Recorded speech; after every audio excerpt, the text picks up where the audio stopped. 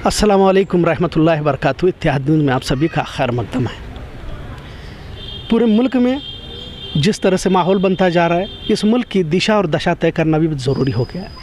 क्योंकि जहाँ एक तरफ़ अखंड भारत की बात कही जा रही है तो दूसरी तरफ़ कहीं ये भारत विभाजन की तरफ़ तो नहीं जा रहा। आप हर रोज़ सुबह उठते हैं तो देखते हैं कि अजान, झटका, हलाल, तीन तलाक, हिजाब बस इसी के इर्द गिर्द ये पूरा मुल्क घूमता नज़र आ रहा है। महँगाई आसमान छू रही है, बेरोज़गारी बढ़ रही है, अपनी तारीख की म्यार पर है। लिहाजा हमारे साथ आज ख़ास मेहमान मौजूद हैं। महाराष्ट्र की करण युवा, यानी कि नौजवान कायद शुभम शेड़के साहब। सबसे पहले आपका हमारे यहाँ पर इस्तबाल खैर मकदम। सर, जिस तरह से ये माहौल देखा जा रहा है, अब देश किस दिशा में जा रहा है? क्या वाकई लोग हिंदू राष्ट्र की चाहते हैं, महँगाई चाहते हैं? क्या ये खून खराबा जिस तरह से देखा जा रहा है? कल हुबली में भी फसाद हुआ। दिल्ली में भी हुआ, सर।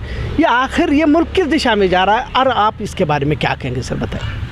देखिए, ये जो सब हो रहा है, ये सामने चुनाव देख के हो रहा है, दूसरा तीसरा इसमें कुछ कारण नहीं है। ये एक छोटा बच्चा भी बता सकता है। अभी ये जो अपने हुबली और दिल्ली का बोला, ये कल बेलगाम में भी होगा या नहीं होगा, इसके बारे में कुछ बोल नहीं सकते। क्योंकि जो बेलगाम में भी चालू है, जिस तरह से हमारे युवाओं को भड़काने का काम चल रहा है, ये ना सिर्फ़ बेलगाम के लिए, ये पूरे देश के लिए हानिकारक है। ये जो धर्म की राजनीति, नफ़रत की राजनीति फैलाई जा रही है, इससे हमारे देश का भविष्य खतरे में ऐसा मेरे को तो लगता है। तो इसको रोकने के लिए हम हमारी तरफ़ से पूरी कोशिश कर रहे हैं कि ये नफ़रत की राजनीति जो ये एक पर्टिकुलर पार्टी फैला रही है, इसको रोकने के लिए हमारी कोशिश जारी रहेगी। नहीं जिस तरह से देखा जा रहा है कि पूरे मुल्क में एक समाज को निशाना बनाया जा रहा है, एक समाज को टारगेट किया जा रहा है और इलेक्शन जीत भी रहे ना सर वो। तो क्या ये पूरे मुल्क में भी यही सोच रहे हैं कि नहीं मुसलमानों को लेकर मसला है? मुसलमानों को निशाना बनाने से ही ये मुल्क तरक्की कर सकता है। अब तो खुले मंचों से नरसंहार जनोसाइड का भी ऐलान किया जा रहा है। तो लोगों के, खासकर मैं हिंदू समाज से, मराठा समाज से भी ये अपील करूँगा कि उभर कर आए और गलत को गलत कहे। हमें किसी पार्टी के खिलाफ नहीं है। तो ये कहाँ गलत हो रहा है, सर? कोई आ क्यों नहीं रहा सामने? देखिए, लोग धार्मिक होना और धर्मांध होना, इन दोनों में का फ़र्क भूल रहे हैं। हम जिन छत्रपति शिवाजी महाराज को भगवान मान के उनके दिखाए रस्ते हुए पे चल रहे हैं तो छत्रपति शिवाजी महाराज को भी हिंदवी स्वराज्य संस्थापक बोलते हैं कि उन्होंने हिंदवी स्वराज्य की स्थापना की। मगर छत्रपति शिवाजी महाराज ने कभी किसी धर्म या किसी मज़हब को टारगेट करके उनसे नफरत करने को हमको नहीं सिखाया है। छत्रपति शिवाजी महाराज के साथ सर्व जाति धर्म मज़हब के लोग थे और हिंदू होना या अपने धर्म पर गर्व होना ये कोई बुरी बात नहीं है। मैं भी हिंदू हूँ मुझे मेरे धर्म में गर्व है। मगर ये जो डेफिनेशन है हिंदुत्व की बदल दिया गया ये डेफिनेशन ये लोग भूल रहे हैं। मतलब एक अपने धर्म के लिए कुछ अच्छा करना और दूसरे धर्म को बुरा कह के मैं हिंदू हूँ ये बोलना ये दोनों में का जो फ़र्क है ये आज की लोगों को ये आ, समझ लेना चाहिए। जी जी। नहीं क्या हल होता है? नहीं, हल तो यही है कि जो राह छत्रपति शिवाजी महाराज ने हमको दिखाई है, वो देख के अपने लोगों के लिए काम करें। दूसरे लोगों को बुरा बोलने से अच्छा अपने लोगों के अच्छे के लिए काम करें। ये जो नफ़रत की राजनीति ये फैला रहे हैं, ये बंद नहीं होगी तो इस देश का विभाजन होना तय है और ये पूरे देश के लिए बहुत ही हानिकारक है। ये जो जहर ये फैला रहे हैं, ये तुरंत रुकना चाहिए और इसके लिए पूरी हमारी कोशिश रहेगी। बहुत बड़ा तबका मुल्क का। बाहर अगर आज ये बिल्कुल एक नतीजे कन मोड़ पर है तो ऐसे मोड़ पर जहाँ आज लोकतंत्र को बचाना है, संविधान को बचाना ज़ाहिर है संविधान के विरोध में इस तरह के तमाम बातें हो रहे हैं। जब हम we the people of India कहते हैं तो हम पूरे भारतीय एक हैं। तो अब कहीं तो भी जो है, इसमें जो एक तफरके की सियासत, जैसे आपने भी कहा और अब तो अदालत भी शक के दायरे में है। अब पत्थर कोई और मारता है और कल पत्थर मारता है और आज उसे मुजरिम करार देकर उसके घर पर बुलडोज़र चला दिया जाता है। तो इस तरह का एक मामला जो देखा जा रहा है सर, इसको कैसे रोका जा सकता है, बताइए। देखिए, इस इस कायदे का जो ये लोग जो इस्तेमाल कर रहे हैं, इसके शिकार हम भी हुए हैं जैसे आपने बोला। हाँ।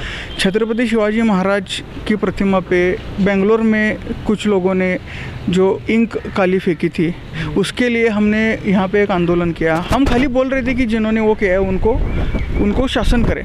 तो उसके लिए डेढ़ महीना मेरे साथ अड़तीस लोगों को जेल में रहना पड़ा था। हम्म। तो ये कायदे का सही इस्तेमाल है।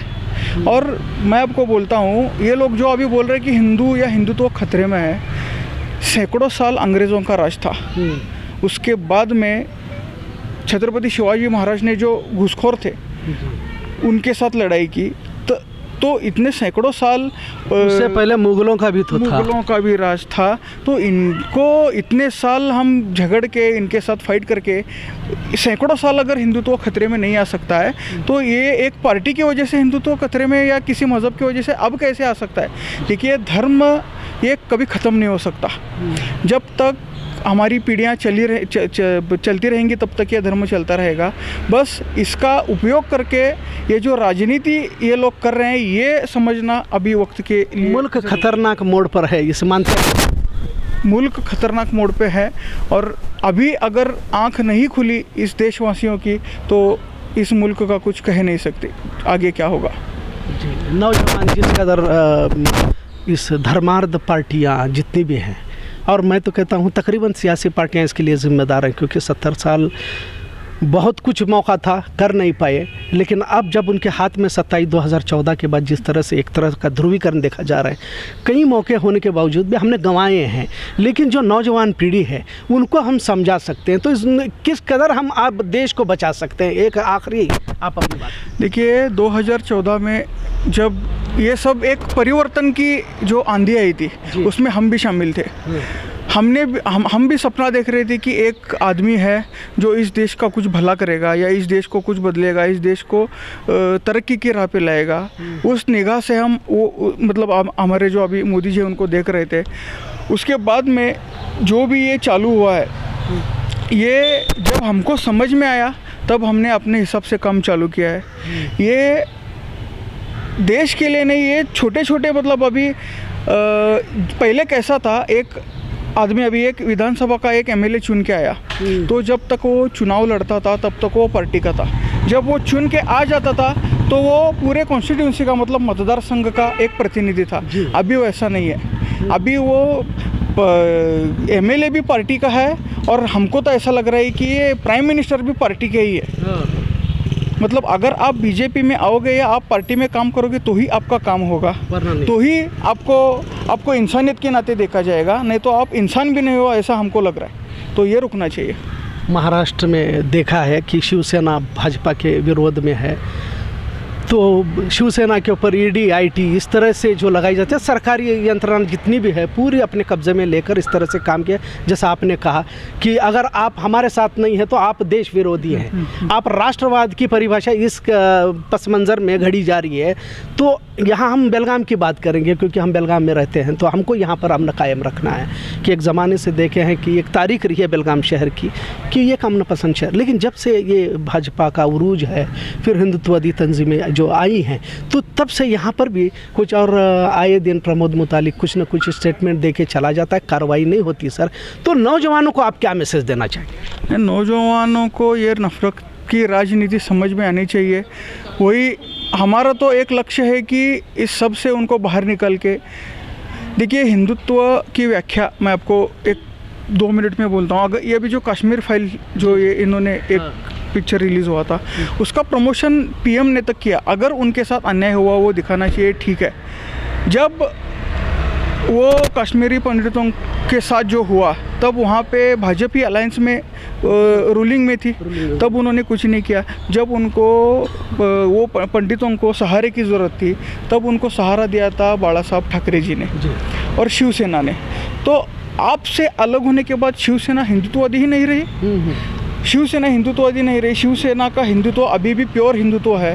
और इनका जो है ये जो हम मराठी में बेगड़ी हिंदुत्व जो बोलते हैं। इनका ये अभी लोगों के सामने आ रहा है। और इतना भी ये इनका एक एक एक पिक्चर को ये इतने बड़े पैमाने पे प्रोपोगंडा के तरह यूज़ कर रहे हैं इससे इनकी राजधानी राजनीति और इनके मार्केटिंग का जो उनकी जो मेंटेलिटी है ये समझ में आती है। तो नौजवानों को वही क्या बोलते नहीं नौजवानों को इस सबसे दूर रहना चाहिए। अभी हम महाराष्ट्र एकीकरण समिति के माध्यम से काम करते हुए अपनी मराठी अस्मिता अपनी संस्कृति और अपने जो हमारा ये जो सीमा लड़ा है, इसके लिए काम कर रहे हैं, मगर हमने कभी भी नफरत की राजनीति नहीं की है। तो मेरी उनसे एक विनती है, आप खुली आँखों से और खुले दिमाग से एक बार ये सब सोचें, और जो सही है, उसके साथ खड़े रहे, इतनी उनको मेरी विनती है। बहुत बहुत शुक्रिया, ये थे शुभम शेड़के साहब, जो महाराष्ट्र एकीकरण समिति नौजवान कायद के तौर पर इन्हें देखा जाता है। उन्होंने जो कहा है, हिंदुत्व की जो परिभाषा, इसकी डेफिनेशन को जिस तरह से एक अलग तरीके से पेश करके, क्योंकि धर्मांध जो तरीका है, इसको डिफ़ाइन करने में कहीं तो भी गलतियाँ हो रही और नौजवानों से उन्होंने यही एक पैगाम दिया, एक मैसेज दिया, एक हिदायत दी कि जिस कदर एक फ़र्ज़ी मामले को क्रिएट करके जो नौजवानों के सामने असल मुद्दों को भटकाने की कोशिश की जा रही है इससे अवेयर रहे, बाखबर रहे, लिहाजा उम्मीद करते हैं कि नौजवान इनके इस पैगाम को जहनशीन कर लेंगे, अपने जहनों में पैवस्त कर लेंगे और उस पर अमल करने की कोशिश करेंगे। इतिहाद न्यूज़ देखने के लिए शुक्रिया। अल्लाह हाफिज़।